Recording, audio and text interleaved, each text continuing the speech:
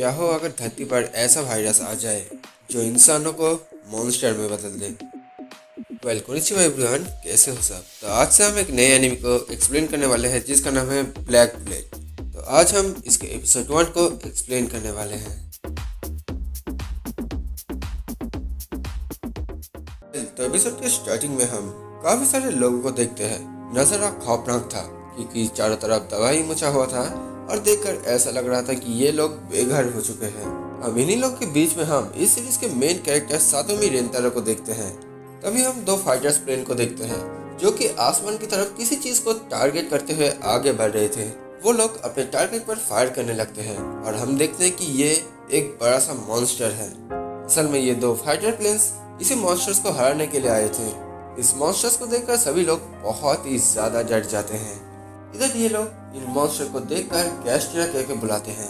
वो fighter planes गैस्ट्रिया के ऊपर हमला करने लगता है, जिसकी वजह से ये गैस्ट्रिया घायल होकर ज़मीन पर गिरने लगता है और वो उसी जगह के आसपास गिरता है जहाँ पर वो लोग थे।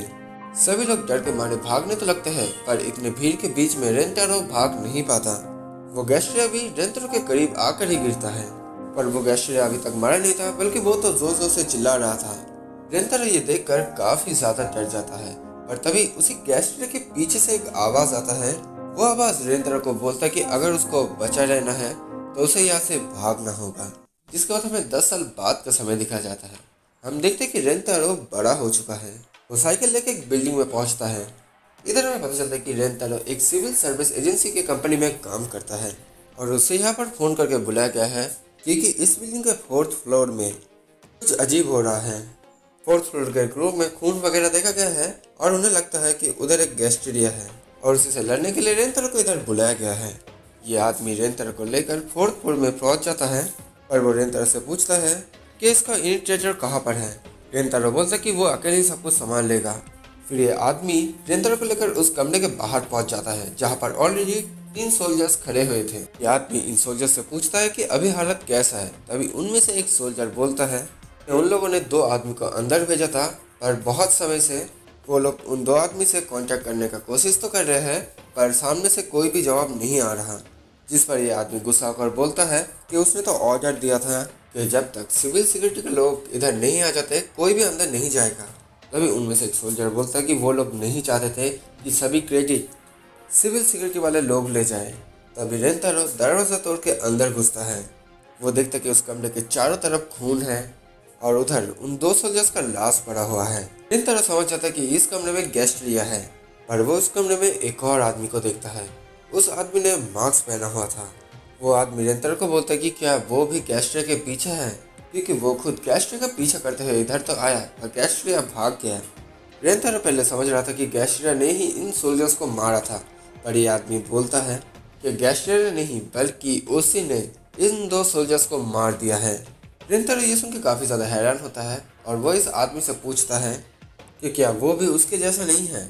ये आदमी बोलता है कि भले ही इन दोनों का काम गैस्ट्रिया को पकड़ना हो या फिर उनको ख़त्म करना हो, पर दोनों ही एक नहीं है, जिसके बाद रेंतरो और इस आदमी के बीच में लड़ाई शुरू हो जाता है। ये आदमी रेंतरो से काफ़ी ज़्यादा ताकतवर था, इसलिए वो रेंतरो को बड़े ही आसानी से हरा देता है। फिर ये आदमी रेंतरो से उसका नाम पूछता है और नाम बता देने के बाद ये आदमी बोलता है फिर नाम बता देने के बाद ये आदमी रेंतरो से बोलता है कि वो लोग जल्दी ही वापस मिलने वाले हैं। क्योंकि वो वही है जो आगे जाके इस दुनिया को बर्बाद कर देगा और उसे कोई भी रोक नहीं पाएगा। तभी बाकी के तीनों सोल्जर्स भी अंदर आ जाते हैं, पर यह आदमी उन तीनों को ही मार देता है। फिर वो आदमी खिड़की से कूद कर यहाँ से भाग जाता है। फिर बाकी के क्रॉस मेंबर भी अंदर आ जाते हैं और वो लोग रेंतरा से पूछते हैं कि गैस्ट्रिया कहाँ पर है? रेंतरा बोलते कि वो पहले ही खिड़की से भाग चुका है। जिसको रेंताड़ो ही इन लोगों को बोलते कि वो इन्फेक्टेड आदमी फोर्थ फ्लोर से कूद गया था। इसका मतलब साफ़ है कि वो इन्फेक्टेड आदमी आसपास ही होगा। फिर हम एक छोटी सी बच्ची को देखते हैं, जो कि बोल रही थी कि रेंतारो अपने होने वाली बीवी को साइकिल से कैसे गिरा सकती है। वो उसी बिल्डिंग की तरफ़ जा ही रही थी, पर एक आदमी उसको रोक देता है। ये लड़की देखती है कि यह आदमी खून से एकदम लखपत है। इस आदमी को देखकर ये छोटी सी बच्ची समझ जाती है कि ये आदमी गैस्ट्रा वायरस से इन्फेक्ट हो चुका है। वो आदमी इस छोटी सी लड़की को बोलता है कि उसे बस रास्ता पूछना था। ये छोटी बच्ची देती है कि वो उसे माफ़ कर दे, पर अभी वो उसके लिए कुछ भी नहीं कर सकती। फिर ये लड़की इस आदमी से अपने आखिरी इच्छा बताने के बारे में बोलती है, जिसके बाद इस आदमी को याद आ जाता है कि वो जब बैल्कोनी में था, तब एक गैस्टर ने उसके ऊपर हमला किया था। ये बातें याद आने के बाद ही ये आदमी उस लड़की से उसके मदद करने के लिए बोलता है। फिर ये आदमी एक बड़े से स्पाइडर में बदल जाता है और इस लड़की के ऊपर कोई चिपचिपा हमला करता है, जिससे उस छोटी सी बच्ची का पैर उधर ही जम जाता है और फिर वो गैस्ट्रिया उस लड़की के ऊपर हमला करके उसको दूर फेंक देता है।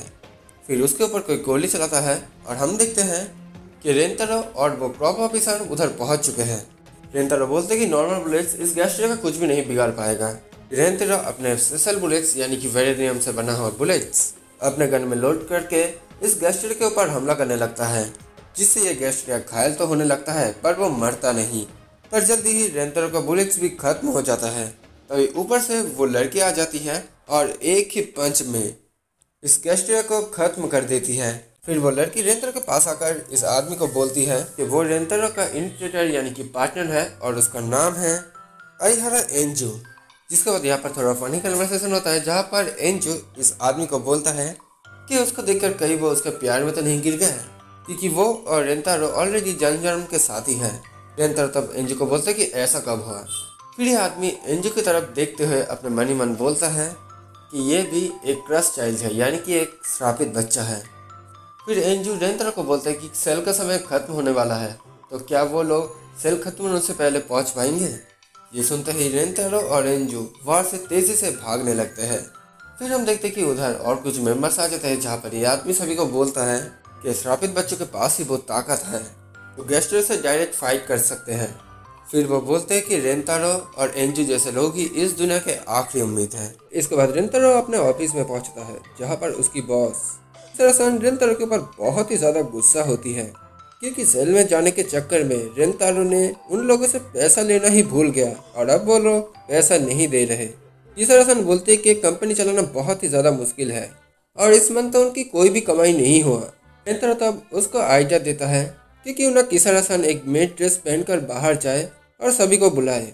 किसरासन जवाब में बोलती कि रेंतारो को बाहर जाकर चिल्ला चिल्ला कर बोलना चाहिए कि यहीं पर टेंडू सिविल सिक्योरिटी एजेंसी है तो शायद कुछ लोग उनसे कांटेक्ट करें। इतना बोलते ही किसान हसन जाने लगते हैं, पर रेंतारो पूछता है कि वो क्या इतनी जल्दी घर चला जाएगी? किसान हसन बोलती कि वो हॉस्पिटल में जाने वाली है, क्योंकि उधर एक उसका अपॉइंटमेंट है।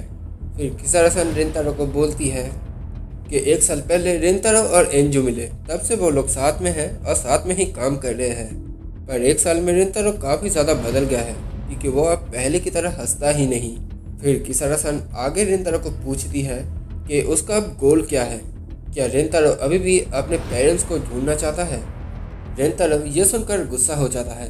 वो बोलता है कि जंग में ही उसके पेरेंट्स मारे गए और फिर वो गुस्सा करके कहीं पे जाने लगता है। रेंतर एक अनजान जगह पर जाने लगता है, जहाँ पर वो अपने मनी मन बोलता है कि उसे अपने गुस्से पर कंट्रोल करना होगा। रेंतर उधर एक डॉक्टर से मिलता है। वो डॉक्टर काफ़ी अजीब होती है, क्योंकि वो डेड बॉडी को अपने बॉयफ्रेंड बनाती है। सच में ये बहुत ही अजीब है। फिर ये डॉक्टर रेंतर को बोलती है कि अगर वो किसारा सन को इतना ही ज़्यादा पसंद करता है तो वो उसको बोल क्यों नहीं देता? रेंतर बोलता कि उसे समझ नहीं आता कि वो क्या करे। फिर ये दोनों सीरियस बात करने लगते हैं। इधर रेंतारो डॉक्टर से गैस्ट्रिया के बारे में पूछता है। डॉक्टर बोलती है गैस्ट्रिया चुप कर रहता है। इसीलिए उनको ढूंढ पाना बहुत ही ज़्यादा मुश्किल है। और अगर वो लोग उन्हें सही समय पर ढूंढ नहीं पाया तो पूरे टोक्यो सिटी में गैस्ट्रिया वायरस फैल जाएगा। रेंद्रो बोलते कि अगर ऐसा है तो वो और इंजू सब कुछ संभाल लेंगे। फिर डॉक्टर बोलता है कि वो स्पाइडर गेस्ट्रिया का खासियत था कूदना। डॉक्टर बोलती है कि गेस्टिरा वायरस अगर किसी के शरीर में चला जाए तो वो धीरे धीरे उस इंसान को गेस्टिरा बना देता है। डॉक्टर बोलते कि गेस्टर वायरस अंदर जाते ही उस इंसान के बॉडी के 50 परसेंट अपने कंट्रोल में ले लेती है और धीरे धीरे वो इंसान गेस्ट्रिया में बदल जाता है। अब इसके बाद हम एनजीओ रेंतारो को एक ही घर में देखते हैं जो लोग खाना खा रहे थे। खाना खाने के बाद रेंतारो एनजीओ को इंजेक्शन लगा देता है। जिसके बाद दोनों ही लड़ाई झगड़ा करते हुए सो जाते हैं। अगली सुबह रेंतारो एनजीओ को अपने स्कूल छोड़ने जाता है। रास्ते में जाते जाते एनजीओ रेंतारो को बोलते कि वो उसके क्लास में क्यों नहीं शिफ्ट हो जाता। इधर थोड़ा और थोड़ा फनी मोमेंट्स क्रिएट होता है। और जैसे ही रेंतारो एनजीओ के स्कूल के पास चला आता है, वो एनजीओ को बोलता है कि वो अपना ध्यान रखे। एनजीओ जॉब में बोलती है कि रेंतारो चिंता ना करे, वो अपना सीक्रेट रिवील नहीं होने देगी। और फिर वो अपने दोस्त के साथ क्लास में जाने लगती है। इधर रेंतारो भी वापस जाने लगता है।